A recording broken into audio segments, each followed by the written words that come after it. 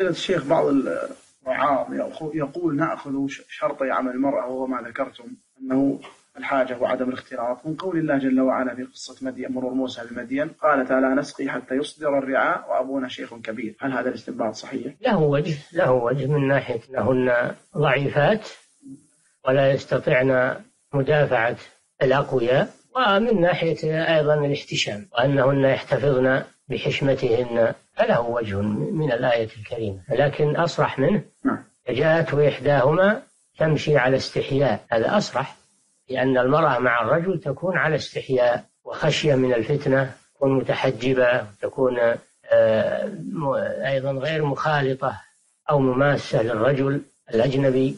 نعم.